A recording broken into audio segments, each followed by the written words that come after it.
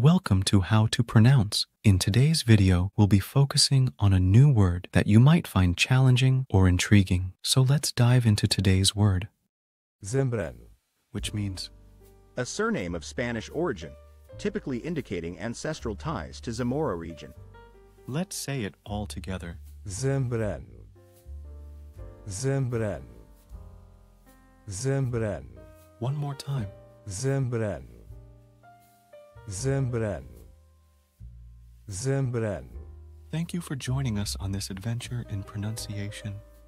Remember, language is a journey, not a destination. Keep exploring, experimenting, and expanding your linguistic horizons. We'll see you next time.